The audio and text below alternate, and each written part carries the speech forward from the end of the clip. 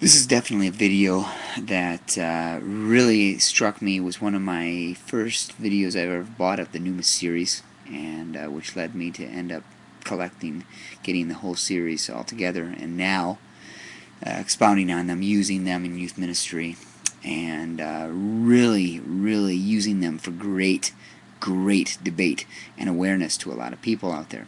There's a lot of people out there that really do not understand how wealthy we really are. But I'll tell you what, this is something that Rob Bell has been incredible at captivating in the new series, and that is the reality and the application that we can apply to our lives in so many different things that we really don't understand until until we understand and realize how well we have it.